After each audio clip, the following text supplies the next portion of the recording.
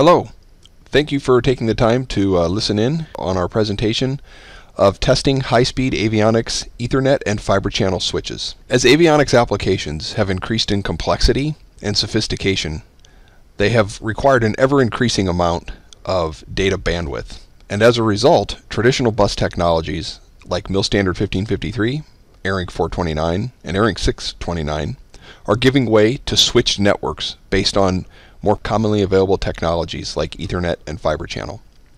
With Ethernet and fiber channel types of networks used in avionics applications, these systems have evolved from shared buses and serial links, which are common with 1553 and ARINC 429, and they've evolved to switch networks, where switches or hubs are at the core of the network and are the mass interconnect connecting all of the end nodes of the system. If we take a look at a comparison between some of the most common legacy data bus technologies as compared to the newer network-based approaches uh, of Ethernet and fiber channel, we can see that not only has there been a shift from the use of serial interfaces or shared buses to, to switched star type networks, but that also fiber channel and Ethernet have introduced many more options and possibilities into these networks. For example, with Ethernet and ARINC 664, both optical and electrical interfaces are possible. This is also the same with fiber channel.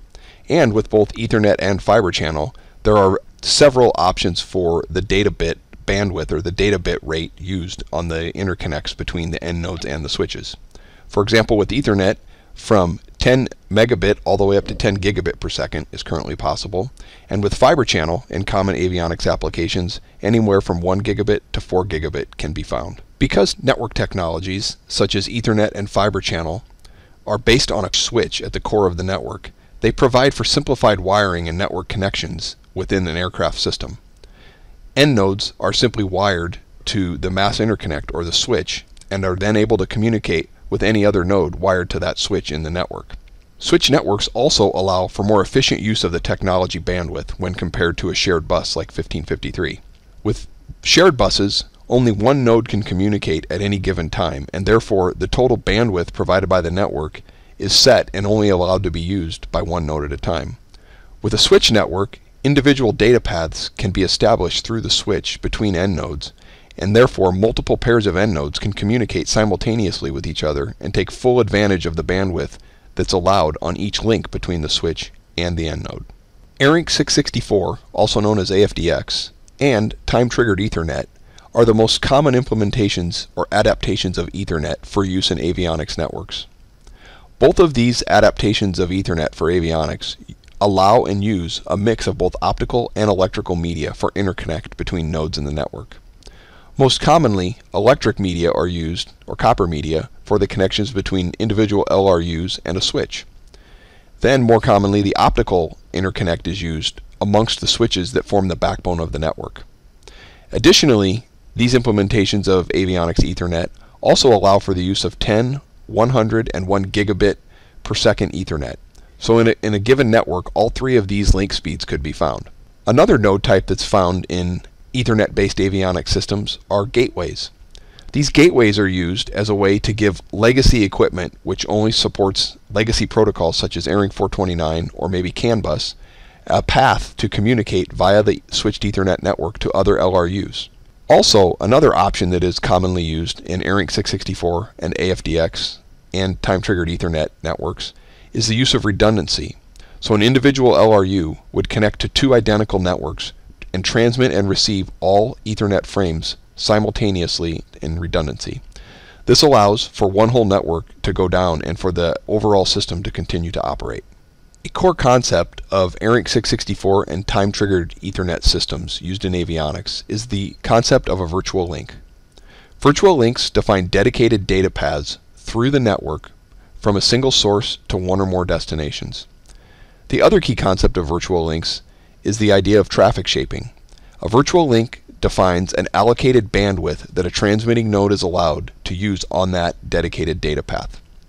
The idea is that by defining this allocated bandwidth and having switches that police this, no individual node can overuse the network and therefore block the communications or restrict the communications of other nodes on the network. So, the virtual links provide a level of security and integrity to the network. With AFDX systems, the the bandwidth allocation for an individual VL is simply a speed limit. Any node on the network can communicate at any time at once, but it can only communicate and only use a certain amount of bandwidth on that virtual link. With time-triggered Ethernet, systems are not only restricted in the amount of data they can send or the bandwidth they can use on a virtual link, but they are also restricted to specific moments in time when they can transmit on that link.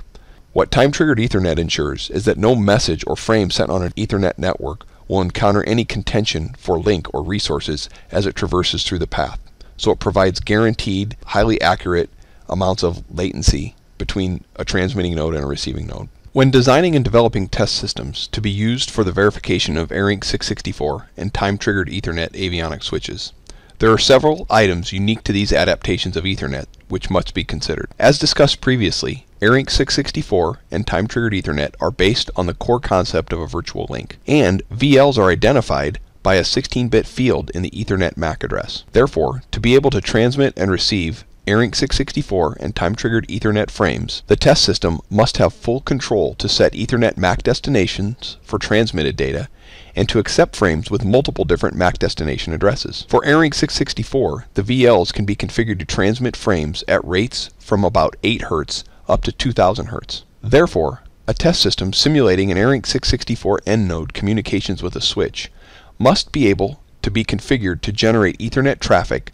within this range of rates for a large number of VLs on a single Ethernet network interface in order to be able to verify the ARINC 664 traffic policing feature of a switch. In time-triggered Ethernet networks, where the transmitting nodes are only allowed to transmit at specific times, the switches have the dual role of the centralized network master clock source, and time-triggered Ethernet defines a time distribution protocol used to provide the master clock to the end nodes of the network.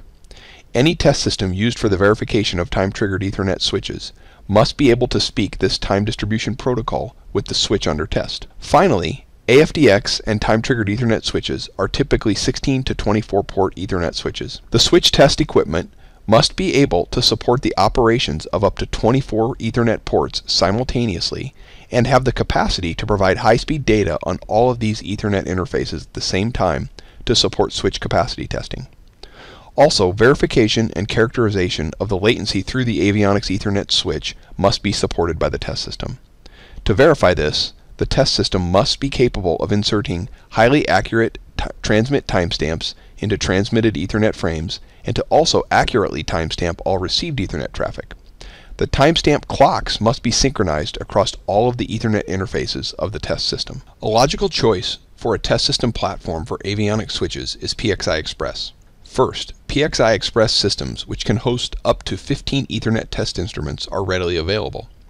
This allows for the construction of single chassis systems which can easily support all of the I.O. interfaces required to test a 24-port avionics switch when using Ethernet test instruments with at least two network interfaces per instrument. Additionally, PXI Express provides the timing and synchronization facilities required for the synchronization of the timestamping clocks of the Ethernet test instruments.